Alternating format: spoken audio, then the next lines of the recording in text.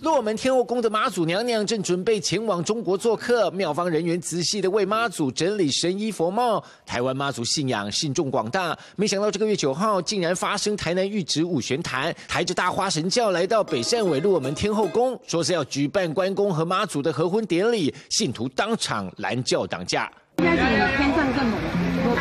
应该是天上圣母，罗罗关圣母，还记得铁雕，记得铁雕。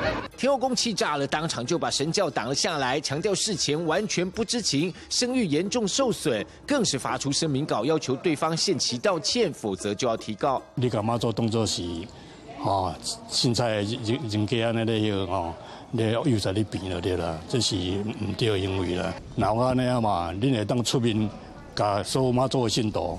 甲！所有关心帝君的信徒，或一个失礼。五玄坛的确从天后宫迎出过一尊分灵妈祖，但分灵妈祖跟本尊神格位阶都不同。五玄坛的做法好似女儿私自要出嫁，竟突然就大辣辣的想回老家，要长辈认可。别说关圣帝君跟天上圣母的信众不能接受，天后宫更是认为遭私人宫庙突袭侵犯。哦，贵当来已经两三两三千尊的分灵啊，啊那逐尊拢安尼变。哦，啊，都都会话伊啊，都都免都免信用拢拢无去啊。那那感觉这种代志发生啊？对神明不太尊敬。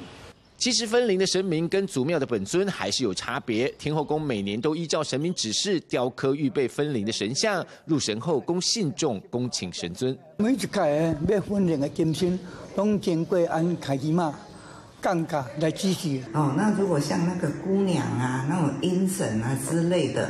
啊，可能可以就是配对。宗教人士强调，神明合婚多属阴庙，像关圣帝君和圣母妈祖这样的正神，竟然有宫庙炒作，也实在令人匪夷所思。民新闻郑播林俊敏台南市报道。更多精彩新闻，请下载 App 订阅民事新闻网。